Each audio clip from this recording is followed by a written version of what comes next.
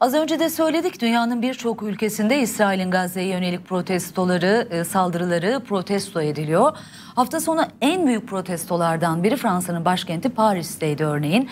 On binlerce kişi İsrail-Filistin e, çatışmasını ve İsrail'in bu bölgedeki bombardımanını protesto etmek için sokaklara döküldü.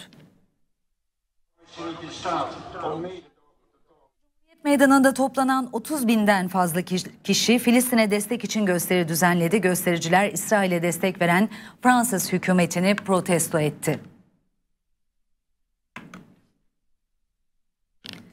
Şu anda çocuklar ölüyor. Özgür Filistin soykırımı durdurun yazılı dövizler taşıdı. Filistin bayraklarını dalgalandıran göstericiler İsrail-Filistin çatışmasında ateşkes çağrısı yaptı.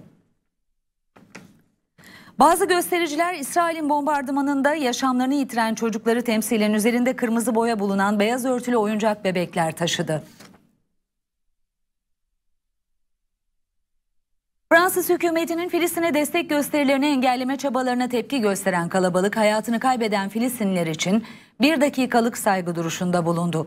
Hollanda'nın Rotterdam kentinde de binlerce kişi Filistin'e destek vermek amacıyla Binnenrote meydanında bir araya geldi. Gösteride yapılan konuşmalarda Hollanda'nın İsrail'i desteklemesi eleştirildi.